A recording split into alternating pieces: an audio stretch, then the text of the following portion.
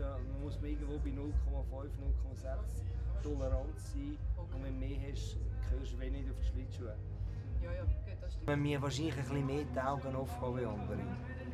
Ah, und du hast auch gesagt, ähm, äh, was ist Ja, sicher, dass wir unserem Motto mit Gampelische Party treu bleiben. Da braucht es immer wieder Inhalt.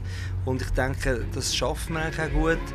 Wir haben vom Barwesen bis zu gewissen Themen glaube ich, immer wieder Inhalte, die ein bisschen außerordentlich sind, ein bisschen quer hineingestellt ins Gelände und passt es zum Teil am Anfang nicht jedem und typierten manchmal, das stößt an.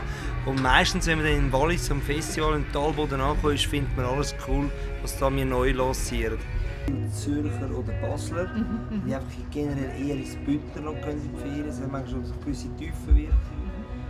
Und es findet ja auch ein Get-Together statt im, am, am Open Air. Äh, Die Walliser, die sich gerne präsentieren, sich zeigen, wo haben wir mitreden, ich war dann auch. Gewesen. Äh, Aber auch in der Schweiz, ich meine, ganze Invasionen von gewissen Gebieten, wo 200, 300 Jugendliche von Altdorf hier runterkommen. Und dem müssen wir wahnsinnig Sorge tragen und auch äh, für die auch immer mitdenken. Wenn wir selber etwas durchboxen und, und, und, und mit niemandem darüber reden dann stoßen es halt eher gewissen vor den Kopf. Und ich glaube, auch die letzten 15 Jahre äh, hat es äh, eine Entwicklung gemacht. Ich kann mich erinnern, als wir das erste Mal die 50'000er Grenzen überschritten haben, ist so im Wallis, ähm, ist es ein aufgekommen, dass die Walliser sich so nicht mehr gefunden haben und so. Und es hat einfach zwei, drei Jahre Prozess gebraucht, bis wir wieder auf den Punkt sind und gesagt haben, ja, man hat es akzeptiert, es kommen viele Innerschweizer halt auf Gampel.